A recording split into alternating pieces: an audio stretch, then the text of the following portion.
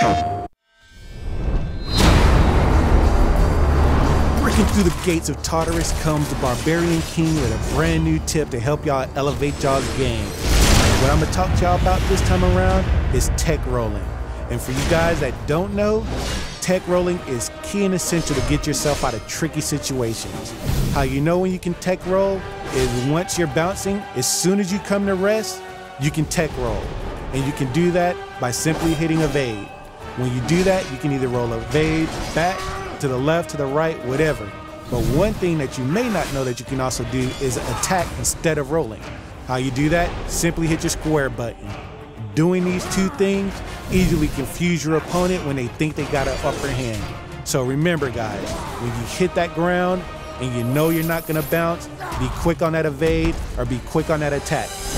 Okay, warriors out there, the time is coming where we can finally prove who's the true champion of the arena. And we already know who that is. And it's me, the Barbarian King. And remember, iron sharpens iron. I'm out.